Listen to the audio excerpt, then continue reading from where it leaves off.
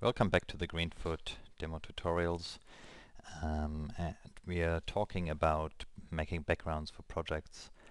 Uh, I have shown you in, in the two previous sections how to use image files for backgrounds and now I want to show you another possibility.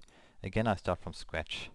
I had before my background demo. Now let's say call this background demo 2 so I'm creating a new scenario here. Um, and this time I don't want to use a image for the background but I want to paint it directly. So let's go into the my new world here. Um, this time let's say I want a one pixel, oops, a one pixel resolution and I want a screen size a world size of let's say 500 by uh, 350 pixels and I get rid of all the commentary here and if I compile this what we're getting is this um, world that is by default white. Now what we can do is we can get this image that we're seeing here and paint on it.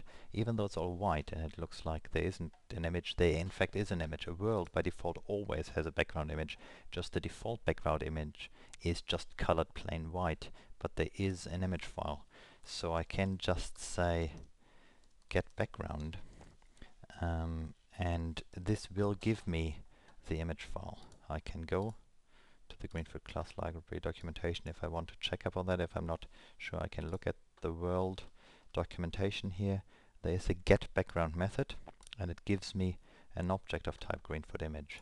So here, get background, this call will give me something of type Greenfoot image which I call BG for background. So I'm getting the current background image and I'm storing it in this variable, a local variable here. Now what I have now is this background image. So if I look at the Greenfoot image, what I can do with this, um, I have now various methods here to, to draw onto the, the background image. There's a fill which I can use. Um, it fills the entire image with the current drawing color. Oh, there's a spelling error here, by the way. But we know what it means.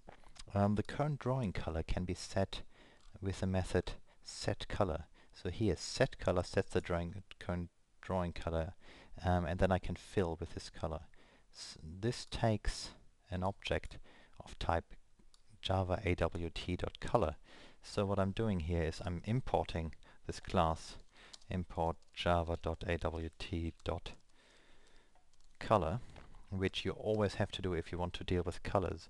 And then I can say for my background I want to set the color to and then I can use one of the color constants out of this color class.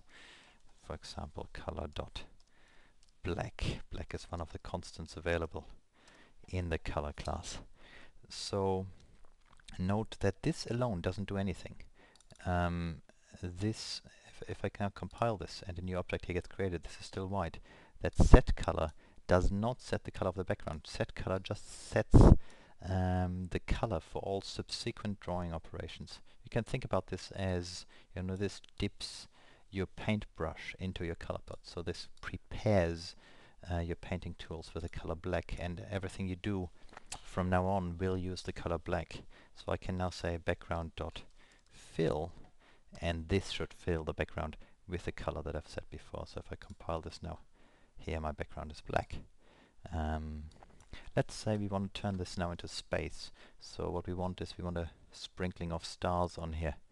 Uh, I can now put some stars in. And I do that because it's a separate task. I put that into a separate method. I do a private int create stars. And let's say I want to specify how many number of stars, uh, make that a parameter. So I can now do something here. First I want to get the background image again. Then I want a, a loop. Um, let's say, oops, I need to give it a name for my loop counter um, I go up to number of stars. So while i is less than number of stars and I increment by one every time. So essentially that many times I want to do something. What do I want to do? I want to draw a very small circle. Drawing a circle I, uh, I can do with draw oval. If you want to look at the um, signature of that method, oh, fill oval is probably what I should do. Um, fill oval. I can specify the x and y and the width and the height. Um, so I use fill oval here. The x and y I have to figure out in a moment. I'll just type x and y for now. The I want to make my stars really small dots, essentially single pixels. So I just make them one pixel wide and one pixel high, so I get small dots. Um, and there ends my loop. What I want to use for x and y, this now is unspecified so far, is I want that to be random so that the stars, stars are sprinkled all over the screen. So here I want to compute x and y as a random number, so I use the known greenfoot dot get random number um, and I want to for the x um, coordinate I want it to be anywhere in the width of the world. So I use get width as my um, boundary for my random number. And I do the same. So I copy this the same for the vertical coordinates. So y is then bounded of course by not the width, but the height of the world. So I've got x and y as random positions within the range, and I can do this. This alone will not show me anything yet because I haven't set the color yet. I still, um, the color here is black. I filled it, and now I'm painting stars on it. Um, but I'm still painting in black, so I won't see them. I need to change the color. So I say here background dot set color color dot let's say we use gray for the stars.